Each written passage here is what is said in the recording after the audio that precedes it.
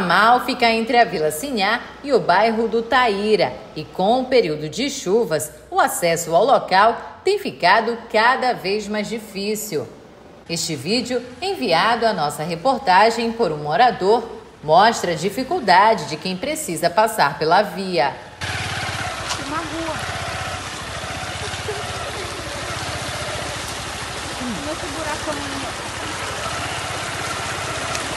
A nossa equipe de reportagens tentou o acesso aqui pelo ramal. No entanto, neste ponto aqui, neste trecho, percebam a dificuldade que é né, trafegar. Na verdade, o nosso carro não conseguiu passar daqui. A situação está bem difícil e para a gente tentar chegar ao outro lado, nós vamos ter que ir por outro caminho, até porque mais lá na frente existem várias residências.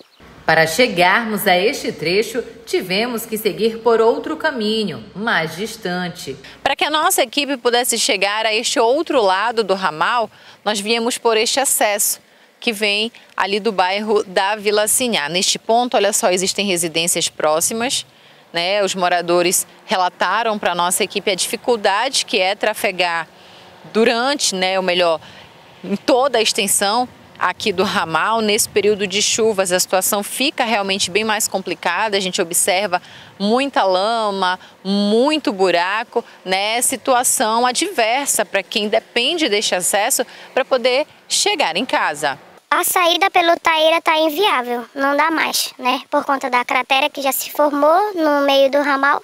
A gente está saindo só porque pela minha casa, minha vida, sentido ali pela frente do IFPA. Porque há muitos anos nós já moramos aqui e nunca houve uma manutenção na via. Sempre foi assim, com muito buraco, quando chove lama? Sempre, toda vez que chove abre essas crateras, porque não tem manutenção.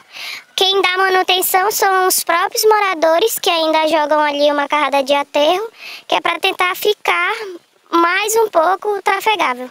E agora com toda essa lama, né, para quem tem carro, quem tem moto ainda tenta driblar, né, os buracos, mas para quem tem carro já é como você falou, tenta buscar outras rotas alternativas.